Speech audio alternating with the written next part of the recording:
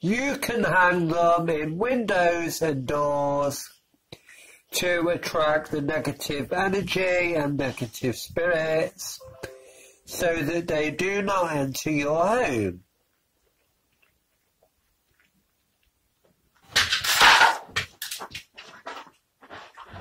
You can work with solar energy and solar gods, just like how I work with Apollo.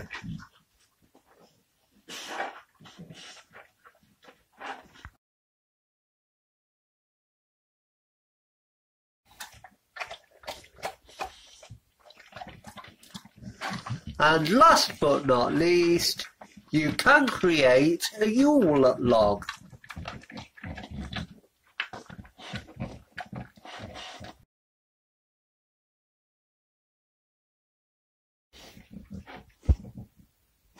It is a log that you decorate and burn at the winter solstice.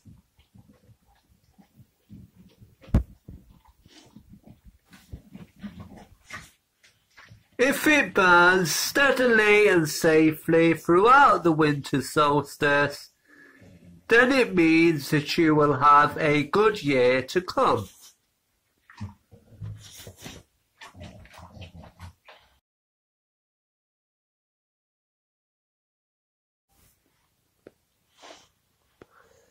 Another idea is that you can have a Yule log in cake form.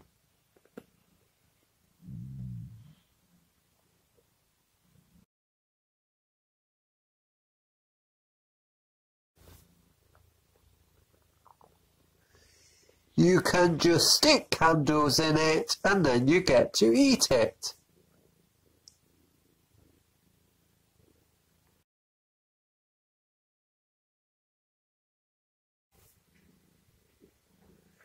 Okay, so that's my video. That's my video all about Yule and how to celebrate it. I hope that you enjoyed this video and found it helpful and interesting in some way. If you would like me to make more videos like this, then please just post sweet comments letting me know and I would be more than happy to make them for you. So that's my video, that's what Yule is and how to celebrate it. I hope that you really enjoyed this video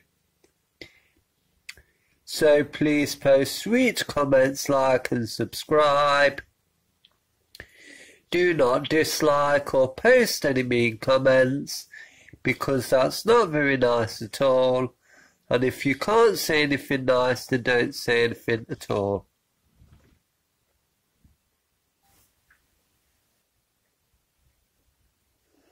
I hope you all have a blessed Yule and a magical time and in the comments section below, post a comment and let me know how you celebrate Yule and what you will be doing at Yule for this time this year. You can also say what kind of things you do at Yule to give other witches ideas on what they can do at Yule. So please post sweet comments, like and subscribe. Do not dislike or post any mean comments because that's not very nice at all. And if you can't say anything nice, then don't say anything at all. Merry part, blessed be, and may the gods and goddesses bless you. Goodbye, have a great Yule, and I will see you next time.